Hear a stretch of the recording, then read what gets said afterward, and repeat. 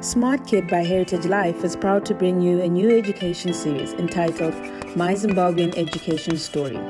This series will be telling a range of Zimbabwean education stories. Our first guest was Maud Chifamba, who made history when she completed her secondary school by the time she was 13 and enrolled into the University of Zimbabwe to study accounting at the age of 14. Like our videos, subscribe to our channel, and leave us a comment letting us know whose education story you'd like to know next. What was the hardest thing about being a teenager whilst pursuing tertiary education?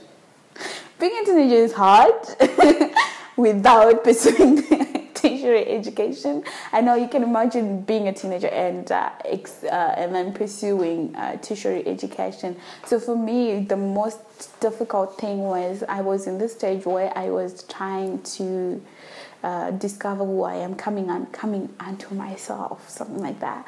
And uh, I was in this sport where everybody was looking at me because it was really like you could really pick it up that this is a kid, and also I couldn't really relate to people. I felt like I was an island.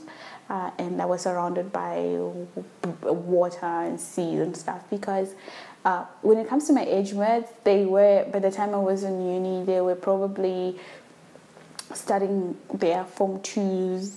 Um, yeah, when I was now when I was in uni, they were form twos, and we couldn't really relate because I'm talking about college issues and they're talking about matrons if they're in boarding school, or they're talking about whatever it is that they're talking about as teenagers. But at the same time, I couldn't really relate to the people that I was with at uni because 18, 19 years, you know what you don't really know what you want, but you have sort of an idea of what it is that you want, who you are.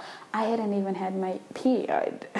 so I'm up with people who have sort of a bit of an identity, and I'm trying to figure out that identity, but I'm alone